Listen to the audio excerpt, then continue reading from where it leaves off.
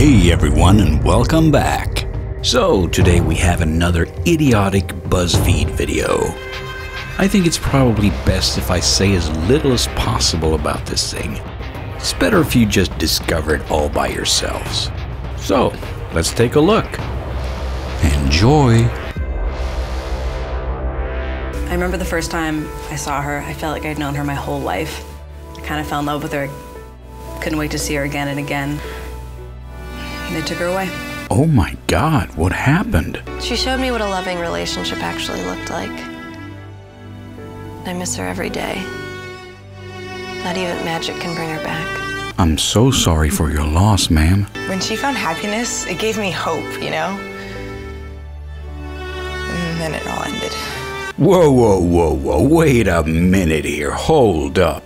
You're talking about fictional characters, aren't you?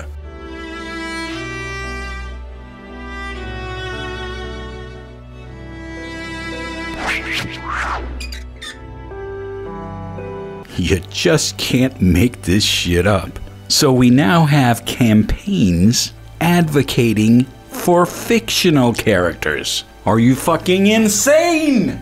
I am affected. I am affected. I am affected. No, you're triggered, that's what you are. Since 1976, 65% of all queer female television characters have died.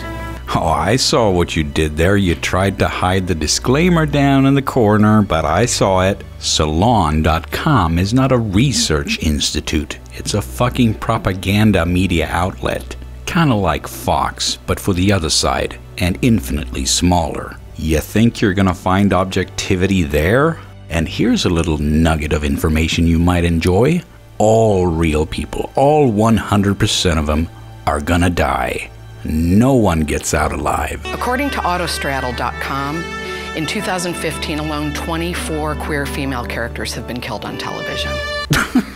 Oh my god. You wanna know how many straight guys died? Fucking millions. Already in 2016, there have been 12 deaths. For fuck's sake, you guys. You make it sound like it's real people we're talking about. With all the shit going down in the world, this is what you're going with?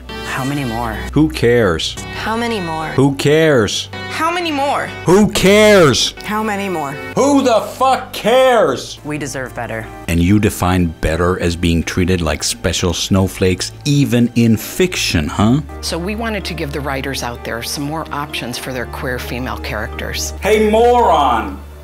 Fucking moron! You wanna know what writers are gonna think about that? They're gonna say, fuck having queer people in our show because these special snowflakes will never be happy no matter what we do. Great going there, morons, making yourselves impossible to work with for writers. Like, just not killing them, maybe. Or how about if the script requires them to die, they die? Or you could have that stray bullet miss them and hit someone else for a change.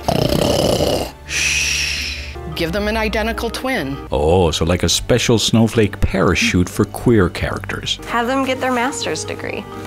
That can take them out of it like a season or two. Oh, oh, so the goal is to get them off screen? Okay. They pull a groin muscle just from wonderful sex. Ooh, lesbian sex. Mmm. Why not a gay ghost? I would love to be haunted by a lesbian. Uh, maybe it's not a ghost story, asshole. Let their spirit live inside a cat. Aren't you guys supposed to fight stereotypes? I knew that if there was a cat in here, you'd be the one to bring it up. Have them go to a carnival. Yes, Commander Lexa went to a carnival. She'll be riding the roller coaster for the rest of this series. Happy now? They can grow old and have a family and a dog and sit on a porch and drink iced tea. Do you think that would make for good TV? I think that would make for great TV. well, you're a fucking moron. Please. Please. Please. Stop, killing, queer female characters. Okay, there is no way in hell that I'll believe that this is representative of the LGBT community. So if you're part of the LGBT community and you're watching this video, please, for the love of God, give me a shout out in the comments and let me know that this is not representative of your community. Anyway, that concludes our show for tonight, so thanks for watching and see you next time.